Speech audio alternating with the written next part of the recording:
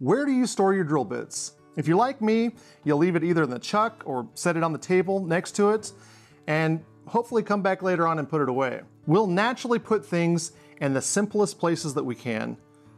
It's human nature 101. So let me go ahead and show you my current setup for my drill bits. A few years ago, I took a kitchen cabinet and turned it into a drill press cabinet. I've got my drill bits here on the side in their cases.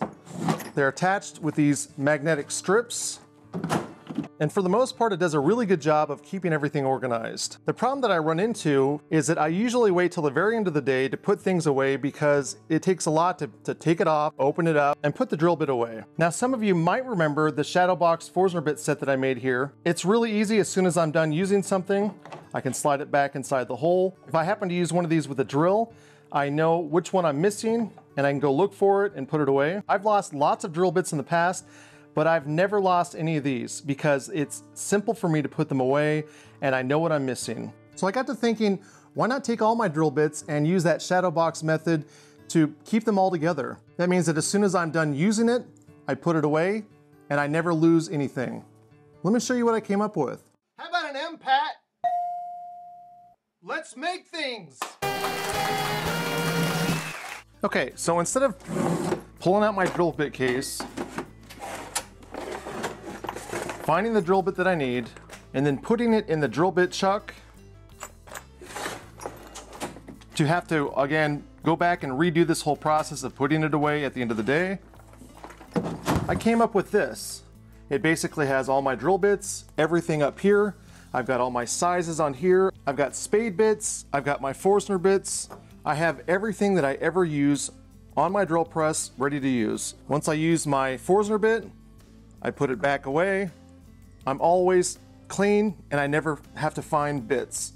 It's really a very good system. And again, what I really like about this is that it's not just one peg for each of these. Each hole has its own separate size. Now, before we get started, I have a web page for this. I have a much longer video that will walk you step by step through building this, but let's get started. This is a relatively easy project that I think will work with most drill presses. The one that I'm making here fits what I have, but you can scale it up or down to suit yourself. I'm gluing four 3 quarter inch squares that are 4 inches by 4 inches. Okay, we'll give this some time to dry and we'll come back.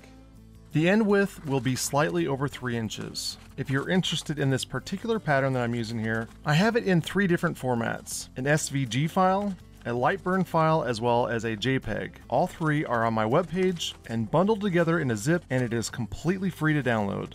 While I'm showing the paper pattern here, I didn't use it. Instead, I laser engraved it with my Ortur 3. I have a review of this in the description, but it's perfect for projects like this. With both blocks done, it's time to drill each hole out. But before you do, you'll obviously want to have a complete set to work with. I bought this carbide Forstner bit set off Amazon for less than about $60, and it has pretty much every size I've ever used. If you're interested, I have a link to it in the description. Next, I strategically drilled each of the holes by first drilling the larger holes before drilling the shaft holes. Of course, this was just for the Forstner and spade bits. For the brad point bits, I used the larger size up for each of the holes. If you don't do this, your bits will stick. So I recommend getting a set of brad point bits that are a 64th away from each other. Now if we go back to my original inspiration for this project, you'll see that I've got my Forstner bits on a block at an angle. When I first made this, I wasn't sure how I was going to attach it to my drill press unit here, but I ended up just leaving it at an angle and I was happy with it. it. I can pull each one of these out. So I thought I'd do the same thing with my new drill bit organizer by cutting it at an angle. This allows me to be able to see each of the sizes and be able to know what I'm pulling out. To make the angles, I measured out 3 eighths of an inch on the back and drew a diagonal to the front. I cut it on the bandsaw before cleaning it on the sander. Back of the bench, you can see it's just a slight angle. I'm happy with this. Even though I'm making this to attach to my drill press, you don't have to. It'll work fine next to your drill press. You could even make it one solid piece instead of the two separate blocks. Since I'm attaching this to my drill press, I'm going to cut two channels that work on both the front and back of the column. Because I've cut the angle on the bottom, I'm using my sled to cut the channel. You would not want to cut this against the fence. I'm adding a dye, but as you've seen so far, it's only to bring out the depth of the curly maple.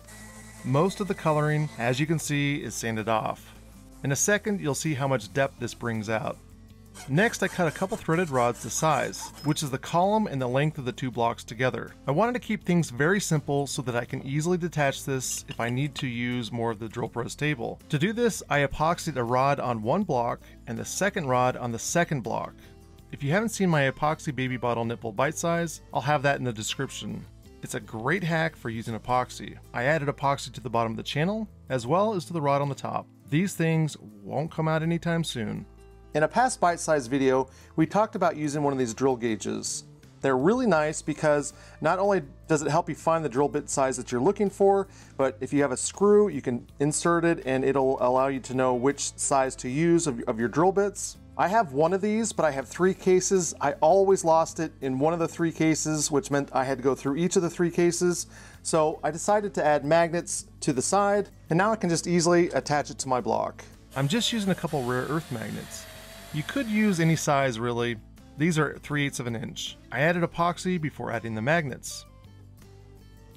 To add a protective finish, I did a combination of techniques. First I cut my poly with paint thinner so that I could really get the poly into the wood grain.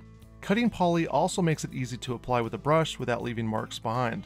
I added a couple layers before sanding it with 600 grit. Then I used my buffer with an aluminum oxide compound to get a near mirror result.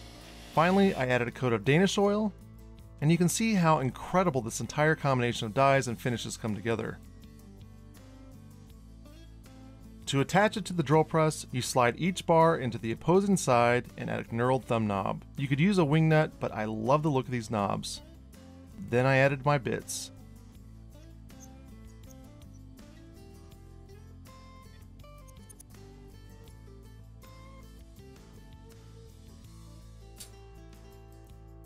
And here we are completed with this. Now I know some are probably thinking, is this ever going to interfere with the work right here? I will keep track of this. I will put in the description down below if I've ever had any problems with it. The thing that I like about this is that if I ever have something that's a little bit bigger that I need to have that space, I can always just turn those two thumb knurled knobs and pull the, it apart with just one pull will take it off. So I'm not really worried about this but again, I want to make sure that I'm honest with everyone that does watch this. I am going to keep track of it and see if this is just something that becomes really cumbersome and annoying. If this is ever a problem here, I can always set it right here, which is right next to my drill press. So again, you don't have to have this on your drill press. I just think it's easier because it's right where I'm working and I know to put things away as soon as I'm done. Thank you so much for watching to the end. Let me know down below if this is something that you're interested in if you might make this in the future. If you'd like to find out more of these secret projects that I'm working on, as well as getting early access, you can join my Patreon. I've got that link in the description down below. I'd really like to thank my patrons now. Thank you, Michelle B., Keith Current, William L. McNally, Jerry Adams, Tommy QR, Zach Finch, and Rich Lightfoot. Thank you so much, guys. Hit the thumbs up, subscribe, ring the bell, and I thank you so much for being a part of my shop. Please leave a comment below, come find me on Instagram at Make Things with Rob, and remember to keep making things.